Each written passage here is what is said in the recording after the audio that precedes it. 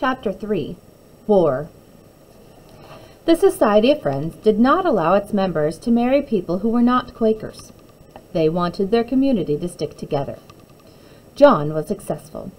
He had opened his own upholstery shop and became a good family, or and he came from a good family.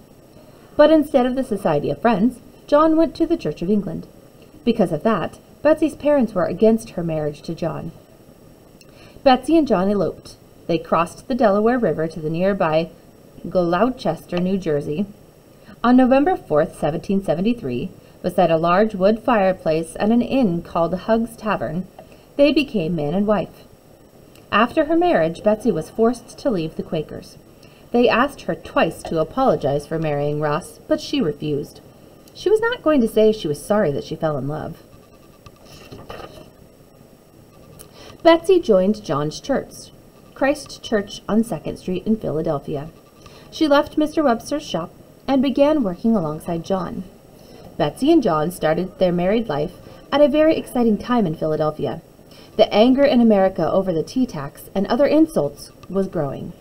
Citizens wanted to band together to force a change. In the summer of 1774, colonial leaders gathered in Philadelphia.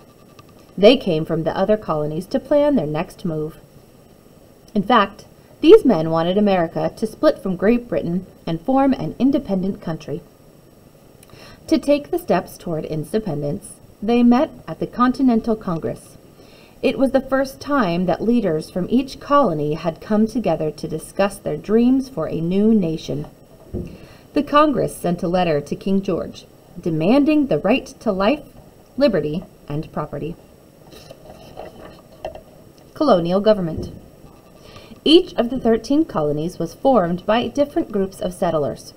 They choose different ways of running their colonies. Virginia, for example, had a governor and elected representatives. Maryland let only landowners vote. New York usually had one leader who made most of the decisions for the colony. To form these colonies into a single nation, however, colonial leaders had to first decide on one form of government. Each colony except Georgia sent representatives to the First Continental Congress. There they agreed that they wanted to be one nation separate from England. King George ignored it.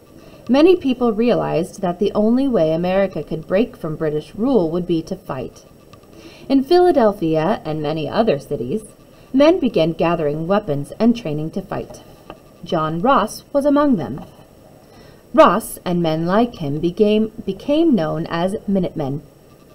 They were regular citizens who had not been a part of any formal army, but they trained after work so that they could be ready in a minute if called into action.